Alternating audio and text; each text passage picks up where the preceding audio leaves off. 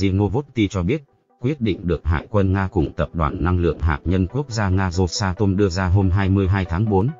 Những tàu này ban đầu được lên kế hoạch nghiêm cất để phục hồi trong tương lai, song Nga cho rằng việc đại tu chúng không mang lại hiệu quả cao nhất nữa. Nói rằng 6 tàu hải quân sẽ bị tháo rỡ gồm hai thuyền dương hạng hạng nặng đề án 1144 Oilan lớp gồm tàu Đô đốc Usako và Đô đốc Lazaze, cùng 4 tàu ngầm hạt nhân chiến lược đề án 667 lớp Delta II. Hải quân Nga muốn tập trung xây dựng các chiến hạm thế hệ mới, với việc trang bị các loại vũ khí tấn công chính xác để phục vụ các hoạt động tác chiến trên khắp các đại dương.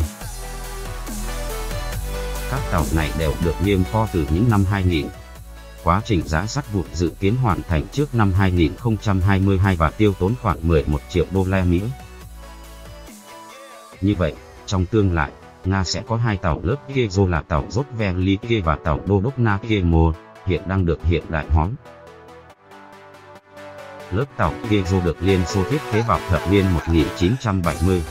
Đây là những tàu chiến mặt nước có kích thước và lượng giãn nước lớn nhất thế giới hiện nay. Với chiều dài 252 m và lượng giãn nước 28.000 tấn, chúng chỉ thua kém các loại tàu sân bay hạng nặng thế hệ tàu chiến này được xem là có sức mạnh hỏa lực ghê gớm nhất thế giới, đủ khả năng tiêu diệt ít nhất một hạm đội tàu sân bay của Mỹ.